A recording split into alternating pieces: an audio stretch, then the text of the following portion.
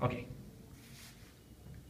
Hey, we're Portugal the Man. We just like to say, what's up, Colombia? It's our first time here. We love it. This place is amazing.